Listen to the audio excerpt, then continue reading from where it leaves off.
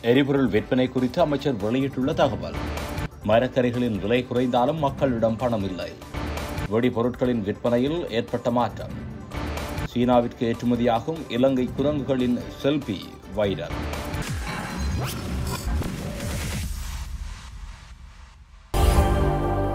எரிபொருள் விற்பனை மற்றும் சாதாரண எரிபொருள் விற்பனையில் குறிப்பிடத்தக்க முன்னேற்றத்தை காட்டுவதாக மின்சக்தி மற்றும் எரிசக்தி அமைச்சர் கஞ்சன விஜயசேகர தெரிவித்துள்ளார். கடந்த ஏழு நாட்களின் தரவுகளுக்கு அமைய தேசிய எரிபொருள் அனுமதி பத்திர கியூஆர் அமைப்பின் மூலம் இந்த முன்னேற்றம் காட்டுவதாக இன்றைய தினம் தனது டுவிட்டர் பதிவில் குறிப்பிட்டுள்ளார். கடந்த வாரம் அறுபது சதவிகிதத்திற்கும் குறைவாக இருந்த விற்பனை தற்பொழுது எண்பது சதவீதத்திற்கும் மேல் அதிகரித்துள்ளதாக அவர் கூறியுள்ளார். மேலும் தேசிய எரிபொருள் அனுமதி பத்திர கியூஆர் வழிகாட்டுதல்களை கடைபிடிக்காத அறுபத்தி ஆறு எரிபொருள் நிரப்பு நிலையங்களை தற்காலிகமாக இடைநிறுத்தப்படுவதை அடுத்து இந்த முன்னேற்றம் ஏற்பட்டுள்ளதாக அமைச்சர் தெரிவித்துள்ளார். இதேவேளையே பண்டிகை காலங்களில் விநியோகிக்கப்படும் நாளொன்றுக்கான எரிபொருளின் அளவு அதிகரிக்கப்பட்டுள்ளதாகவும் கூறியுள்ளார். மேலும் நாளொன்றில் விநியோகிக்கப்படும் தொன்னூற்றி இரண்டு ஒக்டேரின் பெட்ரோலின் அளவை நான்காயிரத்தி அறுநூற்றி ஐம்பது மெட்ரிக் தொன்னாகவும் ஆட்டோ டீசலின் அளவை ஐயாயிரத்தி ஐநூறு மெட்ரிக் தொன்னாகவும் அதிகரிக்க ஏற்பாடுகள் செய்யப்பட்டுள்ளதாகவும் அவர் கூறியுள்ளார். திருகோணமலை மாவட்டத்தில் கந்தலாய் பொதுச்சந்தையில் தமிழ் சிங்கள புத்தாண்டுக்காக கொண்டுவரப்பட்ட மரக்கறிகளின் விலை குறைந்து காணப்பட்டாலும் மக்களிடம் பணம் இல்லை என வர்த்தகர்கள் தெரிவித்துள்ளனர். திருகோணமலை மாவட்டத்தின் கந்தலாய் திருகோணமலை நகரம் மூதூர் தம்பலகாமம் போன்ற பகுதிகளில் மக்கள் சனக்கூட்டங்களை அவதானிக்க முடிகின்றது. தமிழ் சிங்கள புத்தாண்டு களை கட்டும் இந்த நிலையில் துணிகள் அதிக விலையில் விற்கப்படுவதாகவும் மக்கள் கவலை தெரிவிக்கின்றனர். தமிழ் சிங்கள புத்தாண்டு மற்றும் ரமலான் பெருநாள் பண்டிகைகள் வருவதால் மக்களின் பொருட்கள் கொள்வனவு சிறப்பாக நடைபெற்று வருகின்றன.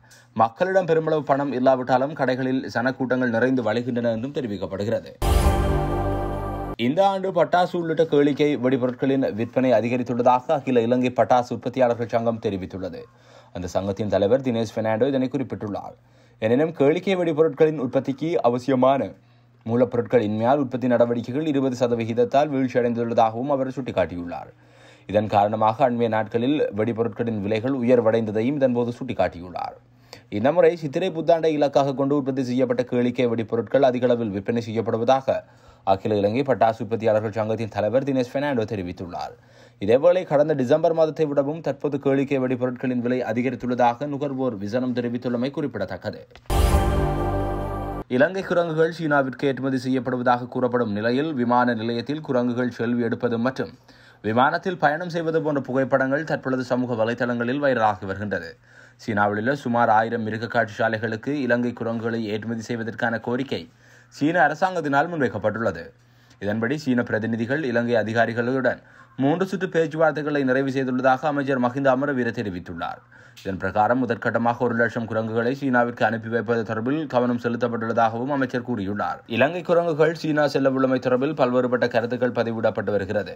இந்த நிலையில் இலங்கை குரங்குகள் விமான நிலையத்தில் செல்வி எடுப்பது மற்றும் விமானத்தில் பயணம் செய்வது போன்ற புகைப்படங்கள் தற்பொழுது சமூக வலைதளங்களில் வைரலாகி பேசுபொருளாக தற்பொழுது பேசப்படுகின்றமை குறிப்பிடத்தக்கது.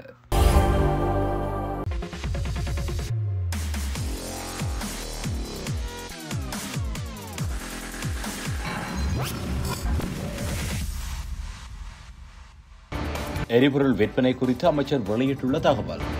மரக்கறிகளின் விலை குறைந்தாலும் மக்களிடம் பணம் இல்லை. வெடிபொருட்களின் விற்பனையில் ஏற்பட்ட மாற்றம். சீனாவிற்கு ஏற்றுமதியாகும் இலங்கை குரங்குகளின் செல்பி வைரல்.